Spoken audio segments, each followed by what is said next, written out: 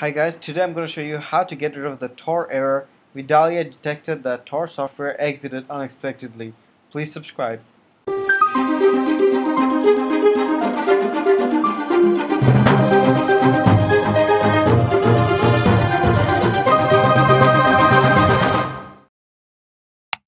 Alright, so what I found out that if you have this error, you probably downloaded it, downloaded your Tor exe or DMG from the torproject.org website, their official website.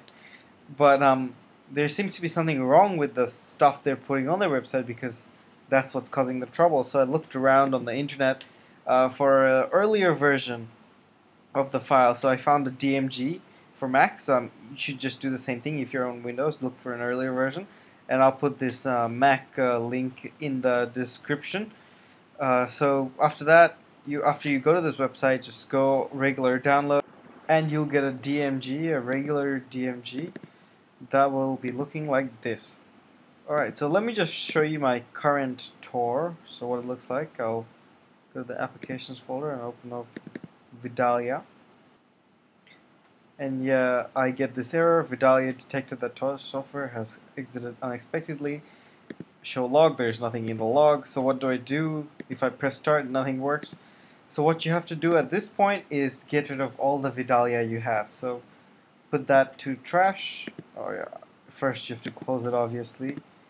Quit and then put it to trash.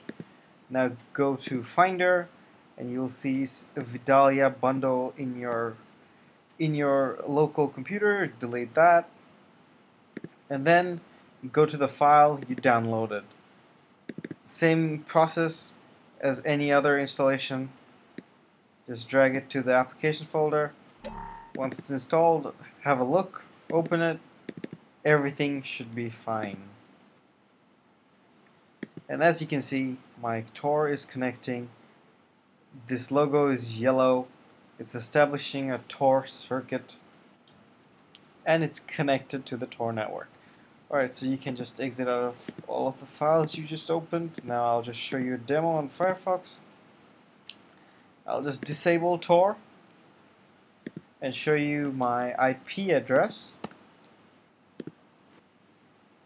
So as you can see, my current address is Dhaka, Bangladesh, and um, that is with Tor disabled.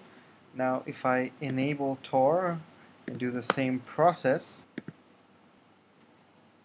and as you can see, it's been changed to San Francisco in the United States. So um, thanks guys for watching my video and please subscribe.